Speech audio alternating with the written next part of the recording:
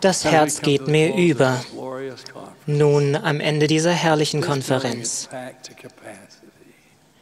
Dieses Gebäude ist bis auf den letzten Platz besetzt.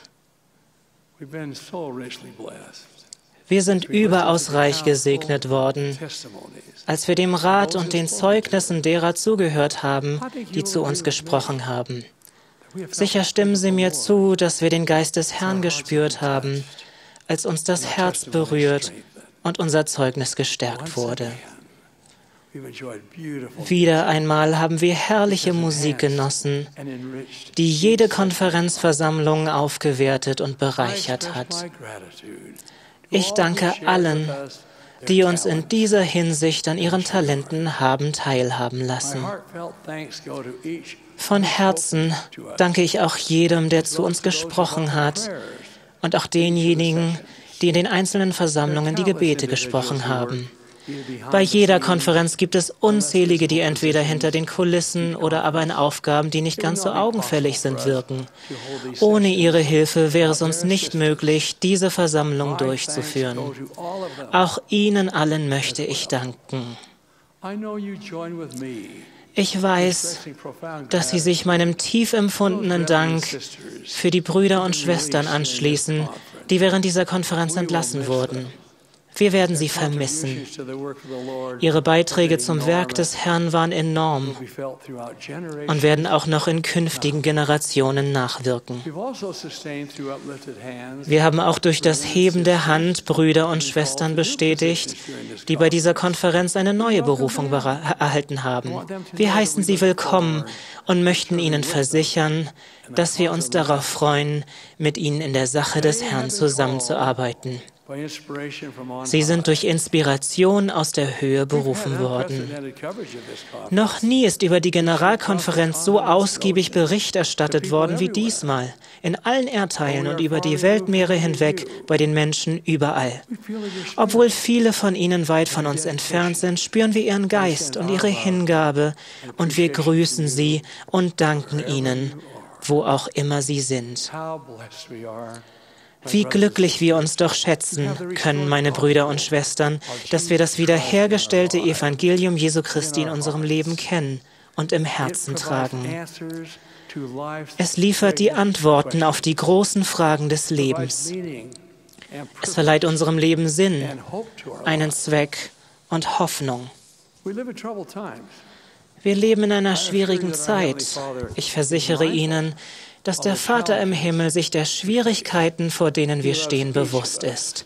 Er liebt jeden von uns und möchte uns segnen und uns helfen. Mögen wir ihn im Gebet anrufen, so wie er uns ermahnt hat, als er sagte, bete immer. Dann werde ich meinen Geist über dich ausgießen und groß wird deine Segnung sein. Ja, selbst größer, als wenn du Schätze der Erde erhieltest. Ende des Zitats. Meine Brüder und Schwestern, möge ihr Zuhause von Liebe und Höflichkeit und vom Geist des Herrn erfüllt sein. Lieben Sie Ihre Familie. Sollte es bei Ihnen Unstimmigkeiten oder Auseinandersetzungen geben, legen Sie sie bitte bei. Der Heiland hat gesagt, es soll unter euch keine Auseinandersetzungen geben, denn wahrlich, wahrlich, ich sage euch, wer den Geist des Streites hat, ist nicht von mir, sondern ist vom Teufel, der der Vater des Streites ist. Denn er stachelt den Menschen das Herz auf, im Zorn miteinander zu streiten. Doch siehe, es ist nicht meine Lehre, den Menschen das Herz mit Zorn gegeneinander aufzustacheln, sondern es ist meine Lehre, dass derartiges hinweggetan werden soll. Zitat Ende. Als ihr demütiger Diener greife ich die Worte auf, die König Benjamin in seiner Rede an sein Volk gerichtet hat. Ich habe euch nicht geboten, dass ihr denken sollt, dass ich aus mir selbst mehr sei als ein sterblicher Mensch.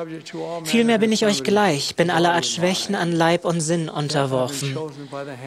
Doch ich bin von der Hand des Herrn erwählt worden und bin durch seine unvergleichliche Macht erhalten und bewahrt worden, damit ich euch diene mit aller Macht ganzem Sinn und aller Kraft, die der Herr mir gewährt hat.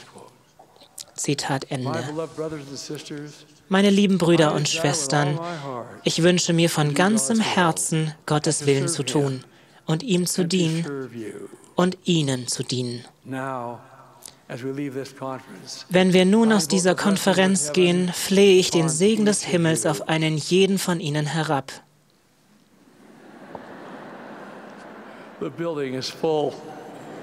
Es ist wirklich voll hier. Mögen diejenigen von Ihnen, die nicht zu Hause sind, sicher dorthin zurückkehren. Bitte denken Sie über das nach, was Sie gehört haben. Und mögen diese Wahrheiten dazu beitragen, dass Sie sogar noch besser werden, als Sie es zu Beginn der Konferenz vor zwei Tagen waren. Bis wir uns in sechs Monaten wiedersehen, bitte ich den Herrn, dass er Sie, ja uns alle segnen möge. Dies tue ich in seinem heiligen Namen, im Namen Jesu Christi, unseres Herrn und Erretters. Amen.